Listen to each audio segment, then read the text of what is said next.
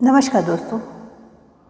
मैं अपने वीडियो में उल्लू से रिलेटेड जो भी जानकारी पक्षी तंत्र में मेरे पास है, मैं आप लोगों के कमेंट्स के अकॉर्डिंग उसके जवाब ढूंढकर आप तक पहुँचा रही हूँ। सो आप सबसे रिक्वेस्ट ज़रूर करूँगी कि नीचे कमेंट्स करते रहें।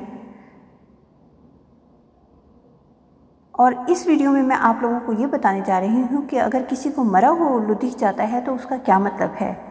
पर उससे पहले एक रिक्वेस्ट ज़रूर करूँगी कि अगर अभी तक किसी ने मेरा चैनल सब्सक्राइब नहीं किया है तो प्लीज़ उसे ज़रूर सब्सक्राइब करें।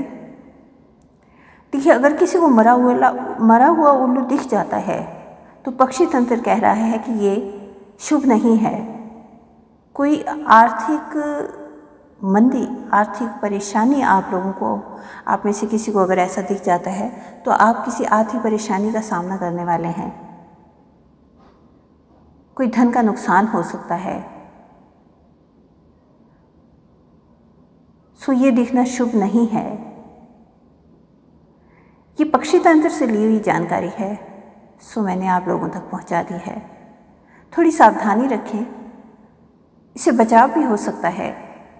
आप सफ़ेद उल्लू की फ़ोटो लेकर उसे अपने घर में रख सकते हैं।